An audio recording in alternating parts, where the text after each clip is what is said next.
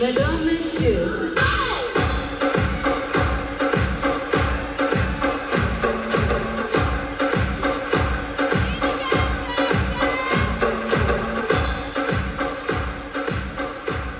Дайте шума дикому Илье и прекрасной Екатерине.